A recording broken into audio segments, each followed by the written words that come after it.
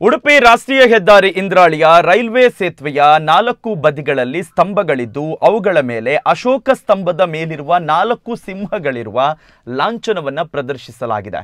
ಇದನ್ನ ರಾಷ್ಟ್ರೀಯ ಲಾಂಛನ ಎಂದು ಪರಿಗಣಿಸಲಾಗುತ್ತೆ. ಇದೀಗ ಲಾಂಛನ ಪ್ರತಿಕೃತಿಗೆ ಬಳ್ಳಿಗಳು ಆವರಿಸಿಕೊಂಡಿದ್ದಲ್ಲದೆ ಕಬ್ಬಿಣದ ಸರಿಗೆಯಿಂದ ಕಟ್ಟಿ ಬಂಧಿಸಿಡಲಾಗಿದೆ.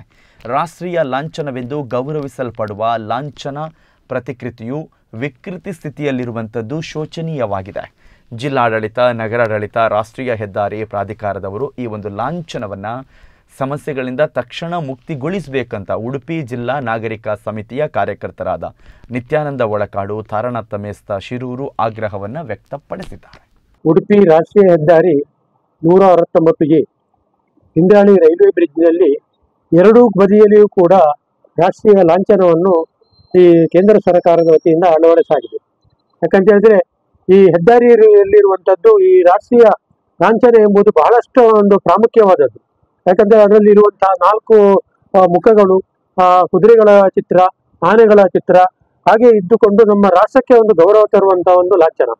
ಈಗ ಇತ್ತೀಚೆಗೆ ಏನಾಗಿದೆ ಅಂತ ಹೇಳಿದ್ರೆ ಈ ಲಾಂಛನಕ್ಕೆ ಒಂದು ವೈರ್ನಲ್ಲಿ ಕಟ್ಟಿದಂತಹ ಒಂದು ಬಂಧನದಲ್ಲಿ ಸಿಲುಕಿಸಿದಂತ ವೈರ್ನಲ್ಲಿ ಕಟ್ಟಿಹಾಕಿದ ರೀತಿಯಲ್ಲಿ ಕಂಡು ಬರ್ತದೆ ಇದಕ್ಕೆ ಸೂಕ್ತ ಕ್ರಮವನ್ನು ಕೈಗೊಳ್ಳಬೇಕು.